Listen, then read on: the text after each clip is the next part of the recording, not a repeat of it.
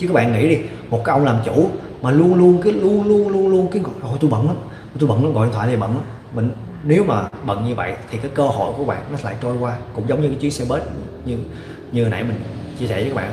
Cái cuộc đời mà bạn không có để thời gian rảnh á, có những cái mà quan trọng bạn không làm á, là cơ hội sẽ, người khác sẽ lấy những cơ hội đó của các bạn thôi. Cuộc đời này nó ngộ lắm. Nó rất là công bằng và nó cũng không công bằng. Đó, các bạn muốn nó công bằng thì công bằng mà bạn muốn nó không công bằng công bằng tại nhiều người nói với mình còn cuộc đời thấy đâu công bằng đâu. Còn nhiều người nói còn cuộc đời rất công bằng nhá nó tùy thuộc tùy thuộc vào cái nhân sinh quan và cái hệ, cái ý thức hệ của các bạn thôi à. Nếu bạn thấy nó sao là nói như vậy ví dụ như bây giờ mình nói một cái đơn giản đi. Bạn đi ra ngoài đường mà nói bạn thích chiếc xe nào đó đi. Các bạn để ý thấy nó, trời sao thấy xe ở ngoài đường chạy xe đó nhiều người ta? Là lúc đó trong đầu bạn cho bạn cái ý nghĩ là bạn thấy xe đó, bạn sẽ để ý chiếc xe đó mà khi mà bạn hờ hững, bạn trôi qua thì cái xe nào đi ngay cũng như nhau thôi các bạn. Cũng giống như vậy thôi. Bạn thấy cái đó là kim cương, thấy cái đó là cơ hội. Mà bạn cho cái đầu của mình có cái quyền gọi là tôi thấy cơ hội đến mà tôi tự động tôi nhắm mắt lại, tôi giả bộ. Anh không thấy em đâu nha. Đó.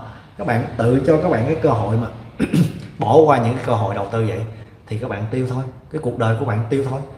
Còn cái anh này anh nói, ok, cái bước mình làm bước một như vậy là không đúng mình phải chuyển qua làm bước hai, kiểu là mình phải có phương án khác là những người khác mình mình chấp nhận lỗ.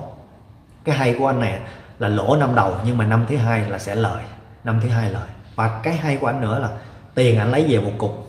Mình ví dụ, mình ví dụ nha, tiền anh lấy về, ví dụ như một cái gói đó là một một trăm, một mười ngàn đi, anh lấy về 10 ngàn.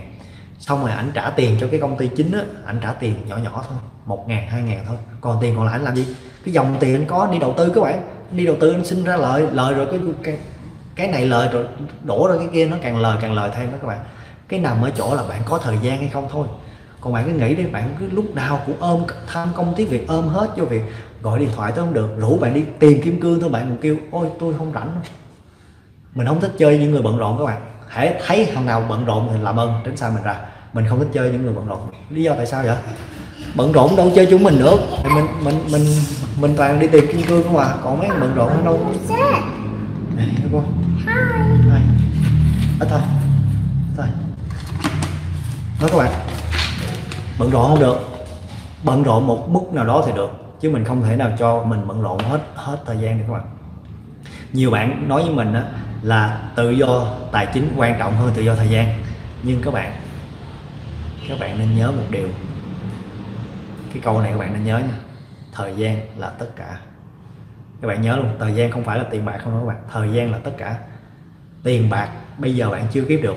Một tháng sau, một năm sau, vài năm sau bạn sẽ kiếm được cái số tiền mà bạn muốn. Nhưng thời gian nó trôi qua rồi, không bao giờ kiếm được các bạn. Ngay cả việc giống như chơi với con mình cũng vậy.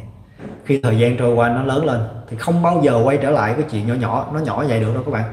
3 tuổi 3 tuổi một tháng, nó là 3 tuổi một tháng, nó không bao giờ, rồi tiếp tục nó là 3 tuổi hai tháng 3 tuổi 3 tháng, nó không bao giờ quay trở lại lúc mà 3 tuổi đâu.